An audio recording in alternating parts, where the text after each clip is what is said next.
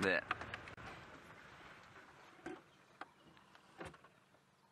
And I'm pretty sure they're in that tree because it's filled with marulas. Sorry to disturb you, chaps. Really, we didn't mean any harm. You could have stayed in there and enjoyed your marula breakfast. They are quite nervous of us for some reason. I'm not sure why. This is not the same troop, I don't think, as the one that we have been seeing. Oh, that's so sweet. There's the one that we've been seeing around the Djuma Pan. I think this is the group that lurks around Torchwood Camp. I'm going to see if we can get just a little bit closer with those little ones playing up top there. That is hilarious. Isn't that fun?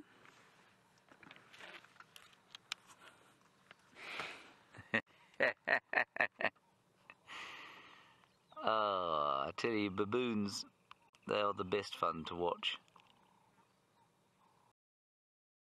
They are just far too human.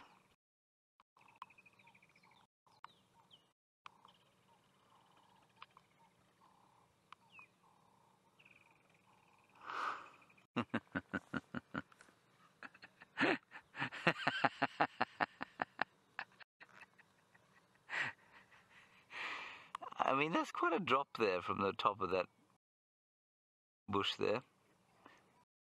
I don't think, I can't believe there are any fruits in that fallen over tree. Wonderful stuff. So the Torchwood Troop, we'll call this one. The other one we've christened the Djuma Troop. It could be the same troop, but I don't think it is.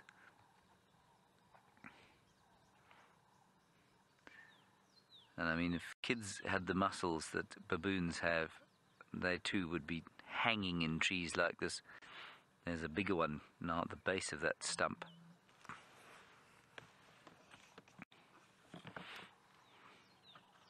Just keeping an eye out. Female.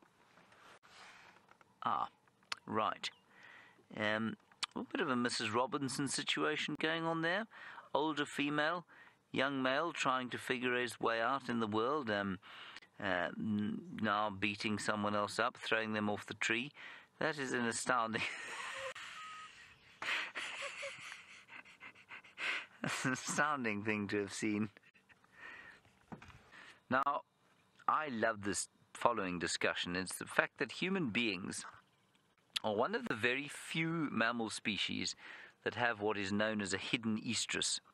What I mean is, of course, baboons, and I, mean they're a nice example to use because, of course, they are relatively closely related to us. Ah, here we go again. Round two.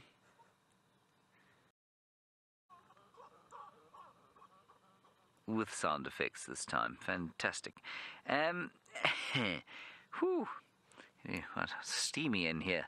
I told you the day was close and steamy. Um, human beings, uh, baboons, don't have a hidden estrus, of course. You can see there that she is demonstrating.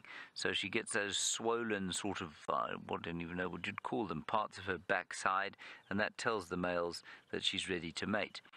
Now, for human beings, of course, that doesn't occur. Chimpanzees, it doesn't occur either. Which means that as humans and as chimpanzees, uh, mating occurs at any time of the month, at any time of the year.